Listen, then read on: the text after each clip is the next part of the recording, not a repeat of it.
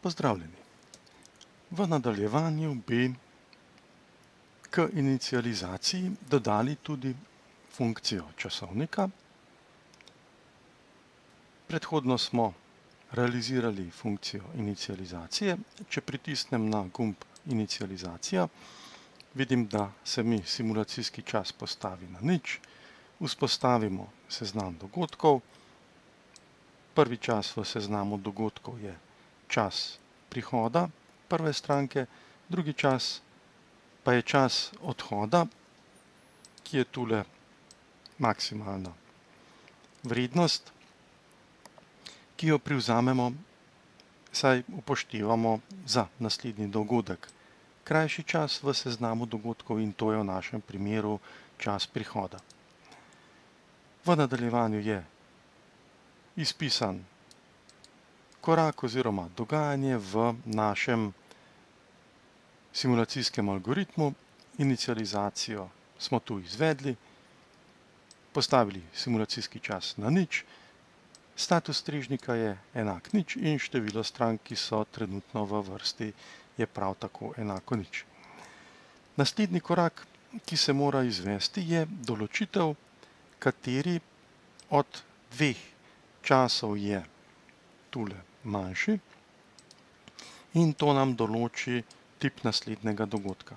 Se pravi, če je čas prihoda manjši od časa odhoda, bo naslednji dogodek tipa prihod, to bi bil v našem primeru tip nič. V primeru pa, da je čas odhoda krajši od časa prihoda, pa privzamemo, da je tip naslednjega dogodka odhod oziroma to je v našem primeru tip številka ena, se pravi tip dogodka številka ena. Tako določimo tip naslednjega dogodka, hkrati pa tudi določimo simulacijski čas, ki nam opredeli časovni skok od predhodnega k naslednjemu dogodku. Se pravi, če pogledamo tule delovanje funkcije časovnik, če tule pritisnem funkcijo časovnik, vidimo, da se izpiše tip naslednjega dogodka, ki je enak nič, se pravi, šlo bo za prihod, simulacijski čas pa se postavi na nič celih štiri, kar tudi tule vidimo pri simulacijskem času. Če pogledamo tule, kaj se torej dogodi, mi imamo seznam dogodkov, kjer sta v seznamu dogodkov dve vrednosti, nič celih štiri in pa zapišemo takole 10 na 308, se pravi neka velika številka. In mi se sedaj vprašamo, kam na časovni osi naj se izvedba simulacijskega teka postavi. Vprašamo se, kateri od dogodkov je manjši, se pravi čas dogodka, mora biti tu manjši ali nič celih štiri ali deset na tristo osmo in vidimo, da je čas nič celih štiri. Najkrajši v temu seznamu in simulacija skoči na čas nič celih štiri, dogodka pa sta tipa nič ali ena. Lahko imamo tudi drugačno, drugačno sliko, recimo, no, če pogledamo, recimo, še en takle primer, ki je sicer isti, se pravi, na primer, da imamo kombinacijo ena cela šest in dva cela štiri, nekje v nadaljevanju simulacije. Vidimo recimo, da je tule čas prihoda krajši od časa odhoda in tule recimo skočimo na znova na krajši čas, to je čas 1,6 in to bo znova prihod. Se pravi, tole je tip prihod, tole je prav tako tip prihod, oziroma v našem primeru tip nič. Potem pa se lahko recimo dogodi obratno, se pravi, ti dve možnosti imamo, naprimer, da je čas prihoda 3,1 in čas odhoda 3,8.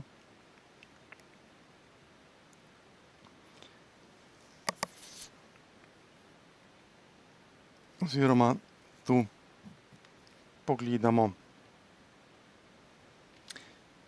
takšen primer, recimo, no, če tule nekoliko spremenimo vrednosti, se pravi, tule bi imeli imeli vrednost 3,8 na prvem mestu. Oziroma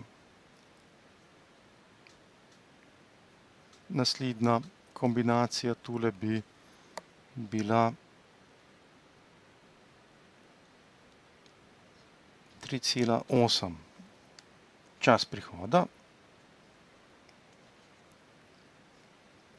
In 2,4 čas odhoda. Takole, tu se vprašamo, katera od vrednosti je krajša in tokrat je krajša vrednost 2,4.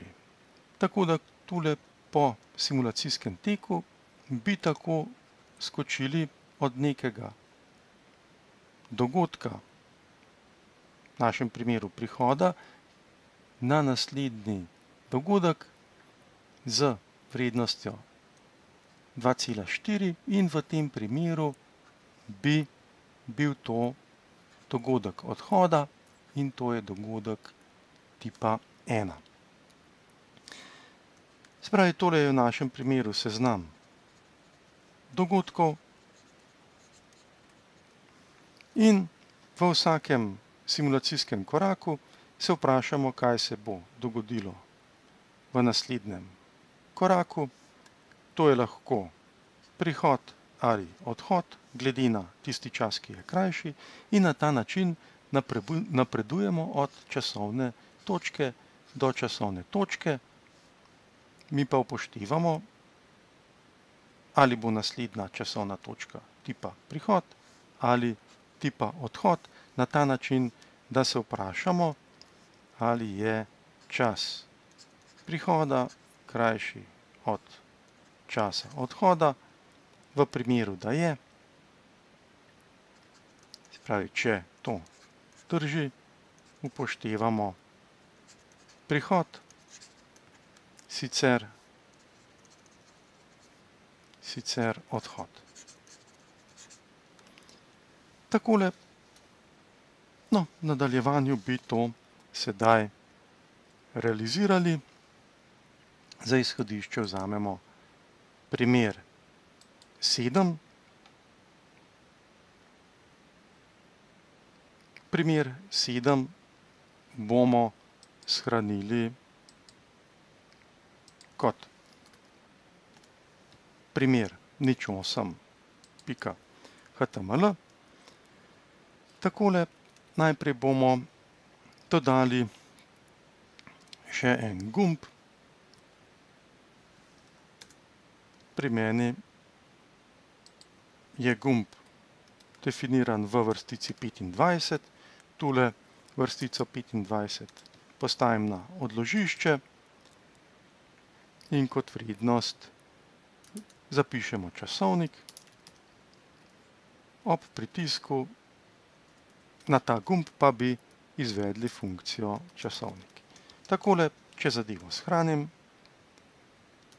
in pogledam na primer nič 8, oziroma na disk in odprem primer nič 8, vidim, da dobimo še en gumb, to je gumb časovnik. Če nam pritisnemo zaenkrat, se še nič ne dogodi. Takole, potem pa bi tule dodali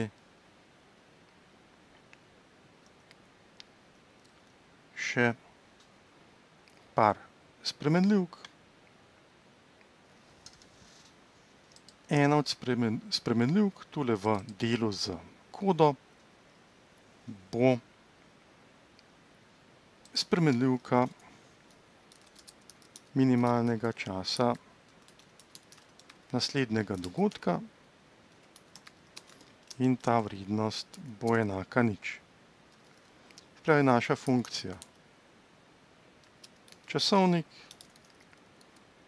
bo določila, kateri dogodek je naslednji. To bo tisti z najmanjšim z najmanjšim časom v seznamu dogodkov.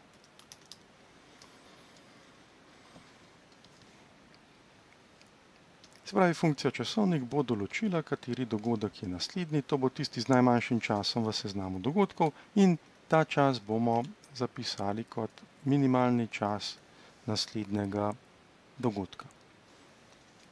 V našem primeru je število dogodkov, za katerega tule definiramo novo spremenljivko, se pravi število dogodkov je enako 2. Določimo število dogodkov za časovnik. V našem primeru imamo dva dogodka, to je prihod in odhod.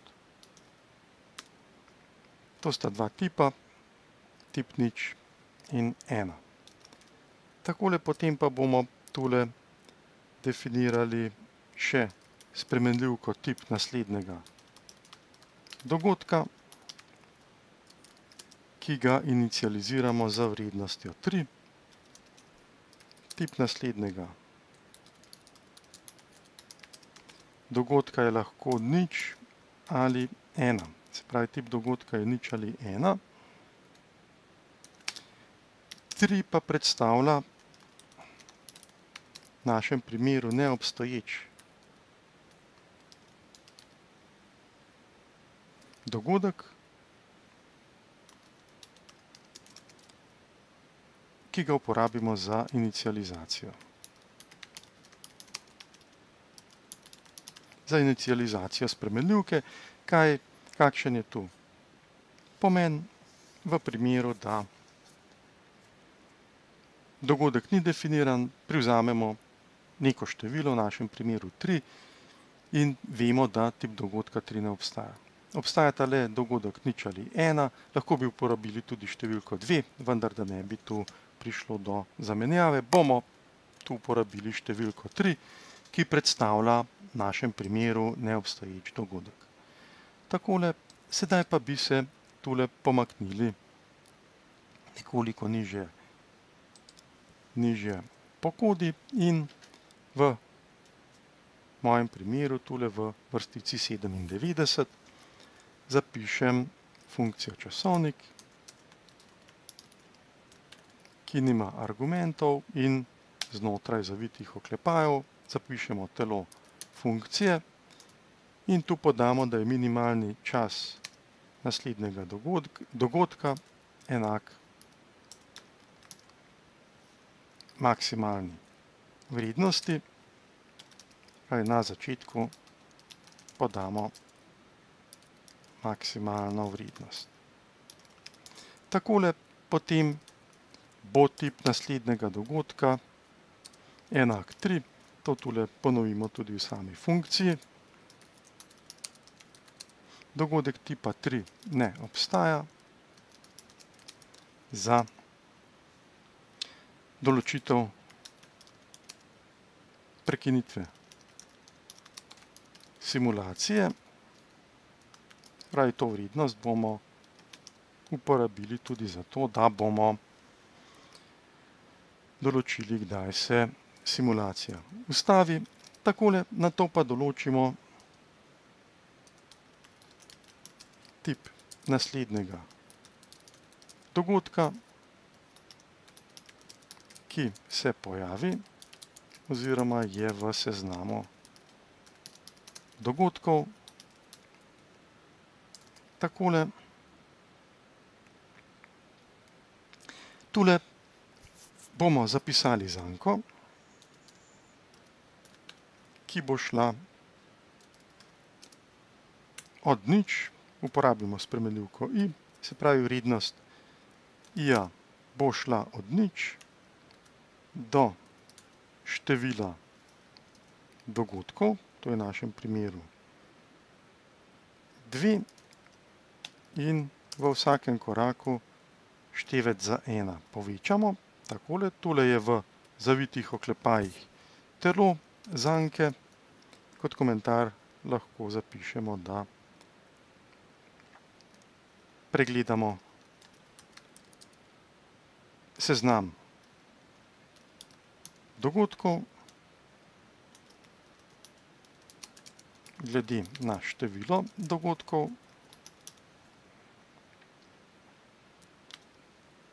Takole. In tu se vprašamo, ali je seznam dogodkov z indeksom i krajši od minimalnega časa naslednjega dogodka. Tule v zavitih oklepajih zapišemo v nadaljevanju telo logičnega pogoja. Se pravi, če zapišemo komentar, določimo minimum. Se pravi, tu se vprašamo, ali je seznam dogodkov od i manjši od minimalnega časa naslednjega dogodka. Na začetku smo za minimalni čas privzeli neko zelo veliko vrednost in če tu pogledamo, recimo, ko imamo indeks nič, se vprašamo, ali je seznam dogodkov od nič, če pogledamo tule, kaj bi to bilo, pravi seznam dogodkov od nič, seznam od nič je v našem primeru tale vrednost, nič celih štiri in tu se vprašamo, ali je vrednost nič celih štiri manjša od neke zelo velike vrednosti. Je in v tem primeru zapišemo, da je minimalni čas naslednjega dogodka enak temu času, se pravi seznam dogodkov od i.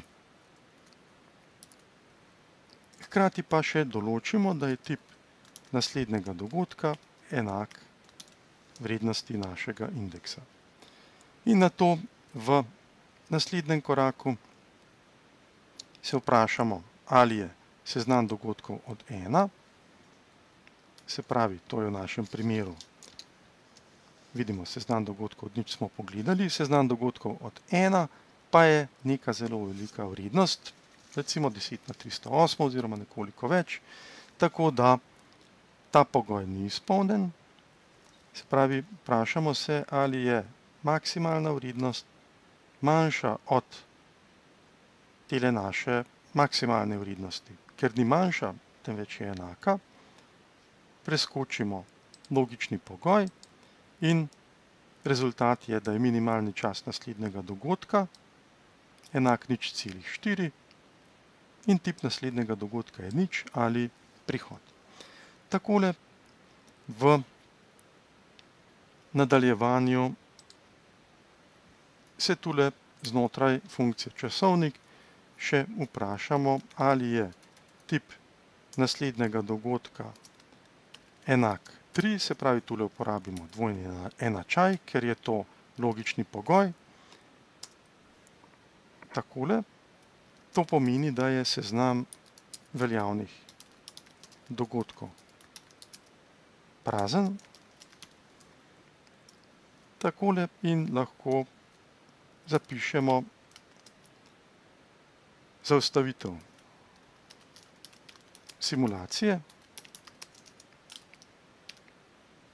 oziroma stop. Dogodek 3 namreč ne obstaja oziroma označuje stop oziroma prekinitev simulacije. Takole in v tem primeru tudi izstopimo iz funkcije.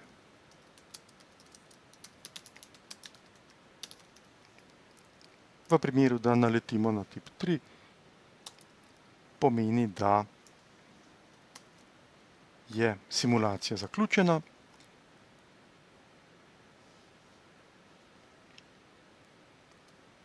Takole sicer pa seznam dogodkov ni prazen.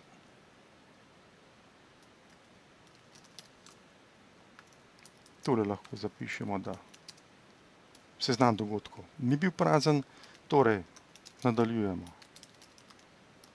simulacijsko uro in lahko zapišemo, da je simulacijski čas enak minimalni čas naslednjega dogodka.